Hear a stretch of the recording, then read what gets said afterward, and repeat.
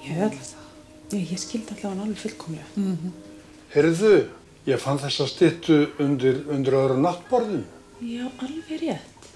Heyrðu, sett hana bara í gluggakistuna hjá bílamóturinn á barbidúkunum. Ok, til það. Takk, skan. Hvað var þetta? Hann þrýfi hjá mér. Föðurni Ágústsson. Æ, já, veist það, ég bara kæri mikið um að það sé eitthvað blá og okkur fólk að snöðrast í mínu hlutum. Mm.